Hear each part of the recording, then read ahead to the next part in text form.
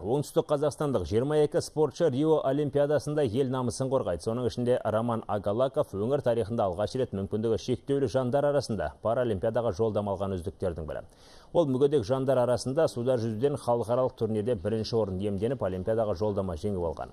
Жалпы еліміз бойынша лицензия алғандардың бестен бірі оңтүстік спортшылардың енішісінде. Олимпиада алдындағы жарыстарда жүйрік шығып, лицензияға қол жеткізген үздіктер спорттың 11 түрінен сынға түседі. Олардың арасында білікті былғары қолғап шебері Біржан Жақып та бар. Ол Олимпиадада үшінші рет бағын сынап көрмек. Қыздар арасында зілтемір көтеруден дараланып жүрген Жазира Жаппарқұлдан бапкерлері үлкен үміт күтеді. Ал жас гимнастшы Сабина Әшірбаева мен боксшы қызымыз Жайна Шекербектің де шоқтығы биік